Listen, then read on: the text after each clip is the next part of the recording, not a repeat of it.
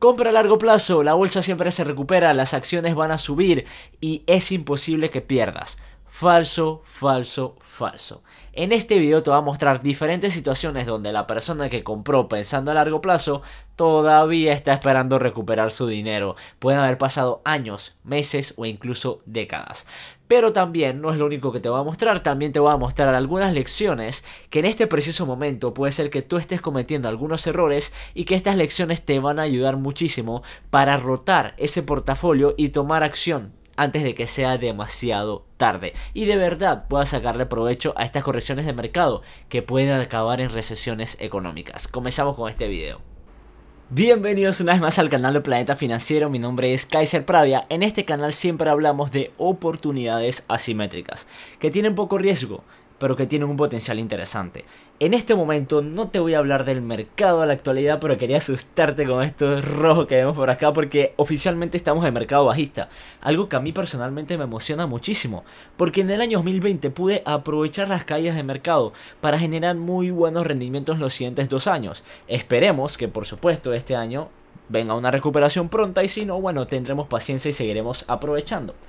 Vamos por acá, vamos por supuesto al tema. Te quiero hablar de empresas que en la historia lo han hecho muy bien y que no se han recuperado y no han tocado nuevos máximos históricos.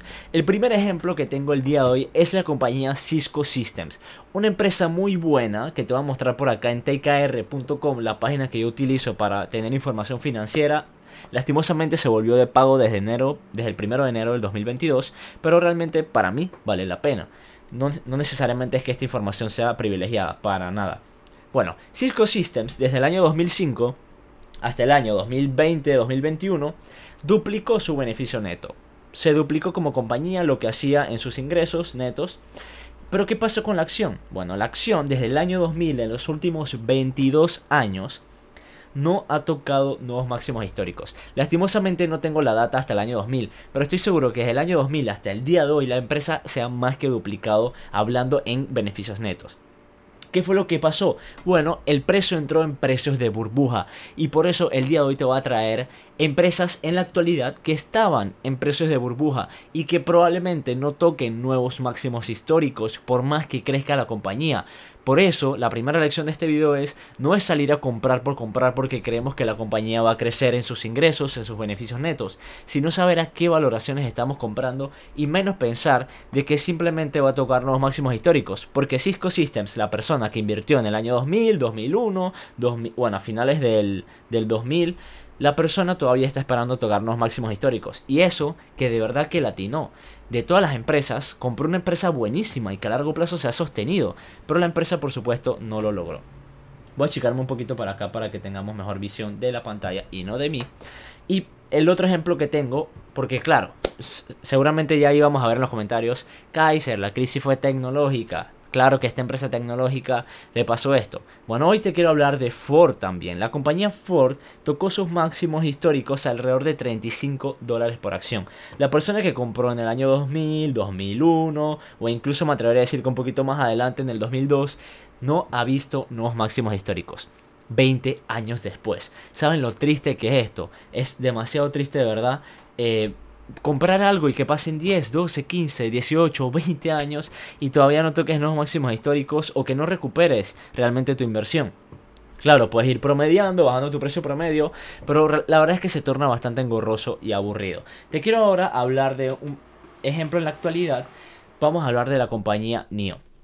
La compañía NIO es una compañía que tocó máximos de alrededor de 61 dólares por acción. Esto representaba más o menos, bueno, las caídas representan actualmente un 73%. Esto representaba en NIO un market cap de 40 billones de dólares. Para que NIO justificara ese market cap era una auténtica locura.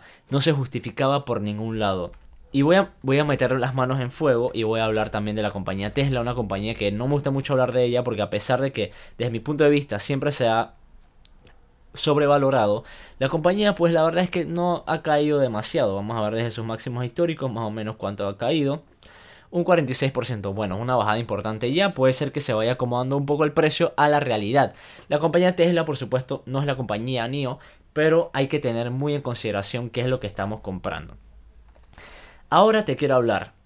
NIO, desde mi punto de vista, es una compañía que estaba en precios de burbuja, estaba en valoraciones exigentes y a largo plazo le va a costar muchísimo justificar esos precios y tocar nuevos máximos.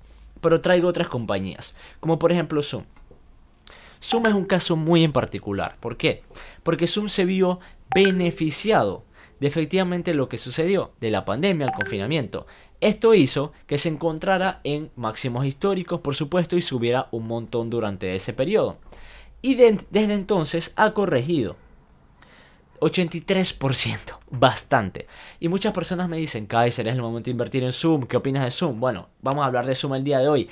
La compañía, que también puede pasar con cualquier otra, a pesar de que se vio acelerado el proceso y estamos viendo correcciones del 83%, la realidad es que puede ser una compañía interesante y que hay que ver cómo ejecuta y que puede a largo plazo tocar esos nuevos máximos o tener buenos retornos de inversión. El tema es que la bolsa cuando empieza a castigar, castiga con todo. Y por eso ves que la compañía a lo mejor está infravalorada. No la he analizado a profundidad, honestamente. Pero a lo mejor puede ser una oportunidad muy interesante y no la estamos pasando por alto porque creemos que el impulso que tuvo la metió en precios de burbuja. Pero en su momento se justificaba si, si hubiéramos seguido así. Pero sabemos que el mundo no siguió confinado para nada. Por eso te quiero hablar ahora de la tercera situación que el 2020 o una crisis o una euforia de mercado puede causar. Vamos a hablar de la compañía PayPal.